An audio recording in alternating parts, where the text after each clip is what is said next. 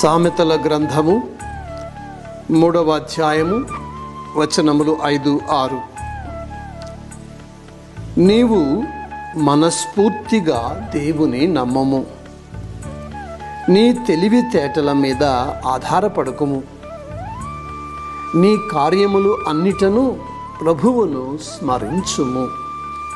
అతడు నీ పనులను సులభతరము చేయును. ప్రభువు వాక్కు సర్వేశ్వరునికి వందనములు.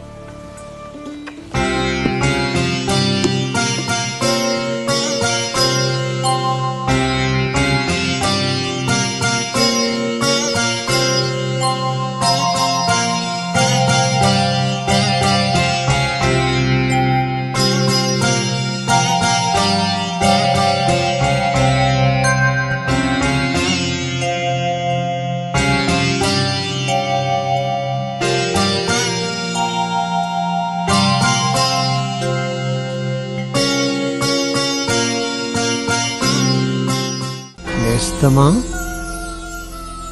పరిస్థితులను అర్థం చేసుకున్నంత మాత్రాన శాంతి సమాధానాలు దొరకవు.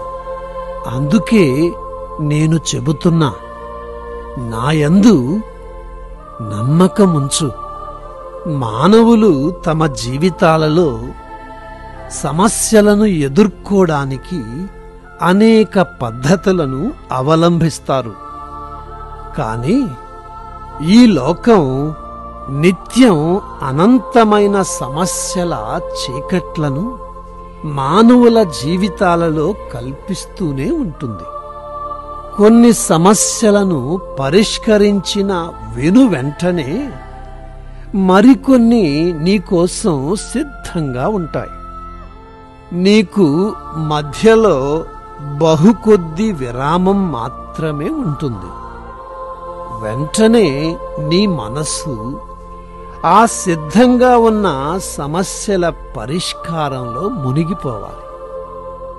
దానికి బదులు నీ గురువునైన నన్ను వెతుకు. మానవులందరిలో మహాజ్ఞాని అయిన సలోమానురాజు సైతం శాంతి సమాధానం కోసం తన సొంత మార్గాన్ని ఎన్నుకోలేదు. నా మీదే ఆధారపడ్డాడు.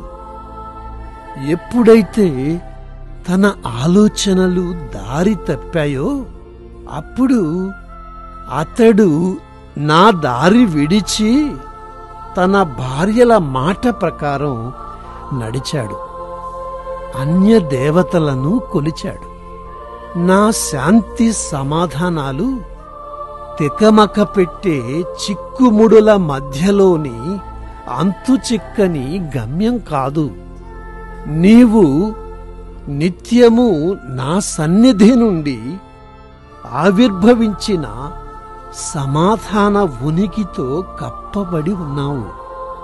నీవు నీ మనస్సుతో నన్ను చూడగలిగితే అప్పుడు నా శాంతి సమాధానాన్ని గ్రహించగలవు.